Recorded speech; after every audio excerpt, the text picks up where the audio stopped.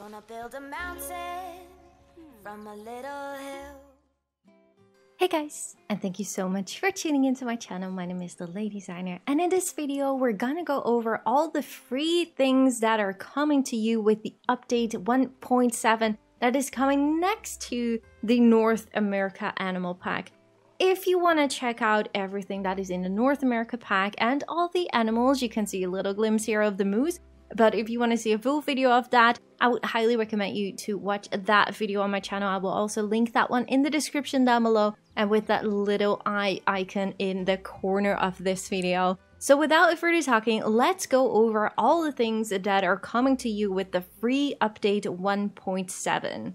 Now the first thing, very small but super useful that has been added to Planet Zoo is the scenery placement randomization toggle. So if you click, for example, uh, uh, this this one, let's go for this straight one so you can tell really easily. So if you go down right over here, you have random rotation. So if you click that one, this will rotate the object random in between other placements. So if we now click this one, you can see that it will rotate itself. Now, obviously with this item specifically, you would not really do that, but with any other item, item it can be very, very useful.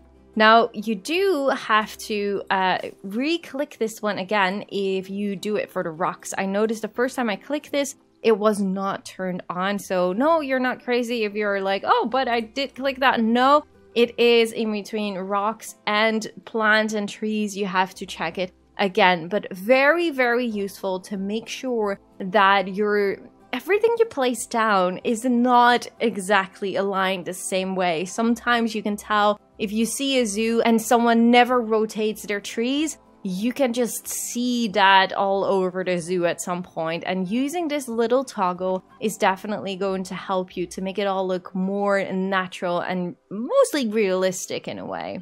So something else that has been added are the new height mapping tools. I did make a separate video about that to go into that in more depth. So I will not go talk too much about that, but I will link that video as well in the description down below. And you can also find it on the channel, of course. But if you go to a new sandbox zoo, you can now uh, click the biome and the continent and then you have this terrain type and uh, yeah as i said i will go over that more in depth in a different video on the channel because else this video would have become way too long. But what's also very cool is that you can now also select a scenario zoo for your sandbox zoo. So I, I did not uh, unlock these all, unfortunately. Uh, but you can just click all the scenario zoos and you can also check here terrain only. So you can also use all these maps with only the terrain for your sandbox zoo so you will not see anything built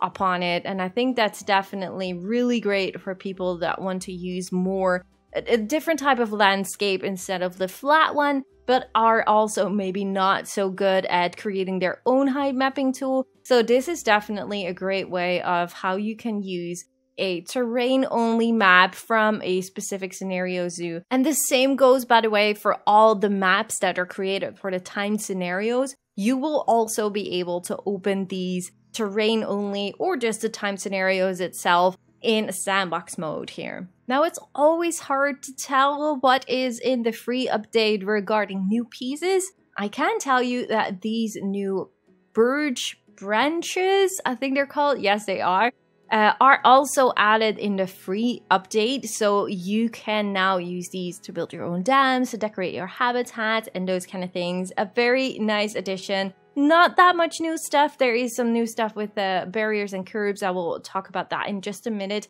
Uh, but other than that, there is not new stuff being added in this pack. We spoke about the trailer, uh, the announcement trailer, and some uh, dry stone pieces and the chimneys and stuff those are removed from this whole time scenario. So I think they're still working on some new items and stuff, and it might be for the next update or well, we have to wait and see, but probably in December. But these are some definitely really nice items uh, to get in the game as well. I really love it that there are some very, very small pieces in there. Something else new coming to you with the free update are the Animal Talk seating area, something that made me very excited to be honest. Now they come with these two railings, so you can obviously optional choose to have a railing or not onto them. You can add more seating areas next to each other and they're pretty easy to connect so you uh, just click the animal talking point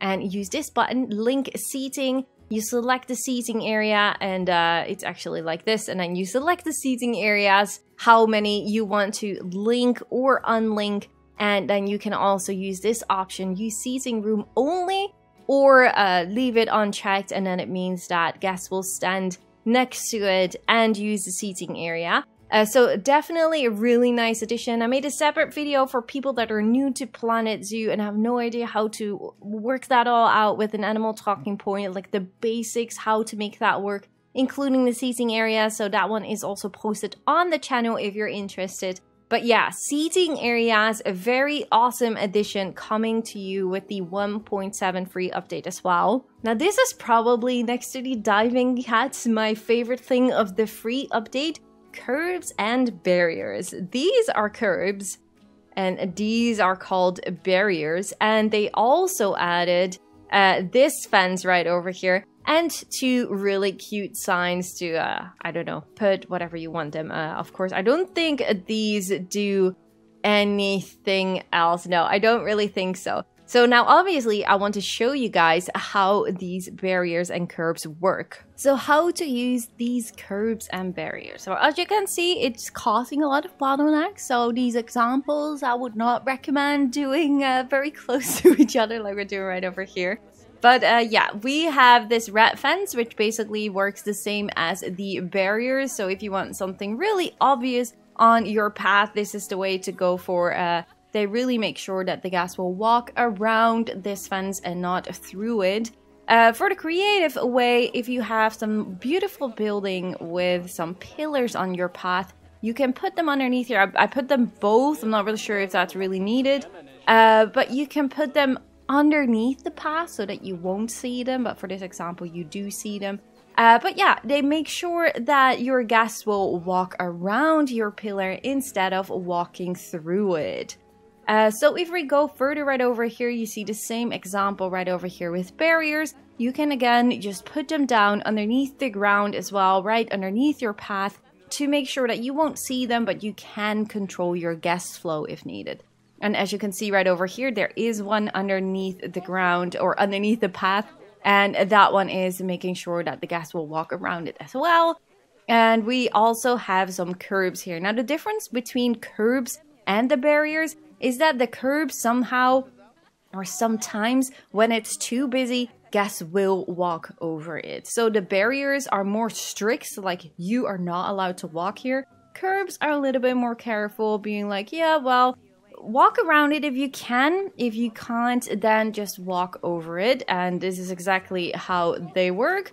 Another example for creative people is when you have this archway. Underneath this archway, you can see right over here that I added some barriers. So if you have some kind of doorway and you really want your guests to walk through the doorway or through the archway, then you can have these uh, barriers on the sides. You could even potentially say, I want to have some uh, some curbs right over here at the edge just to make sure, or some barriers maybe even better, uh, just to make sure that they really do not walk through the wall on the on the sides. Where you can use these curbs and barriers perfectly for you remember that you sometimes have this raised path and your guests are basically standing here behind your fence looking into habitat. You ever had that situation? Well, with these curbs, you can now just put like a curb right on the edge and just really force them to not be standing over this barrier. So that is definitely a really great way to make sure that your guests will not walk over this edge if that happens sometimes. Like it doesn't happen all the time right over here. It's too busy, of course. But sometimes you have this habitat and you have guests standing over that edge and it's just super annoying, this is your way of fixing that little tiny annoyment and make sure your guest will not be floating in the air. Now this last example does not entirely work, unfortunately. Um, the idea is that your staff buildings, for example, are over here. You can have a normal natural path uh, with the curbs, you make sure that your staff will still be able to go here because they have this destination, but your guests would not go there. But I do think that the habitat right over here is too powerful that the guests would still really feel like walking here even though we have these curbs added. So I'm not entirely sure if that is a bug or that maybe the viewing of the habitat is too powerful. I intentionally put this here just to see how that would go like would the curbs be more powerful than the habitat but it looks like it's not but you can still like for different areas which, which is not so close to a habitat Make sure that you have just a natural path so you don't have to use the staff path for this and then add some curbs and that should potentially work in most of the of the situations. But I, I really do think that this is too powerful. Maybe Frontier can change that still but yeah that might be a reason why I guess would still be using this path anyways. Now the Zoopedia has had some really great changes so there is this management tab right over here and I'm not entirely sure. I think that does not work with a sandbox zoo. So that might only work in the career mode. Same goes for the research tab. I think in sandbox mode, it's not really needed unless you turn it on. Uh, but some other things are really great. So you can tell already right over here that you can select for a habitat animal or for an exhibit animal. Uh, you can also click the continent, so you can now just click North America and then see all the animals that are coming from North America or from any other uh, continent, obviously. And the same goes for their conservation status. So some really neat functions to uh, search in the Zoopedia to the animals that you want. You can also filter them on the biome. So that is a really great feature as well.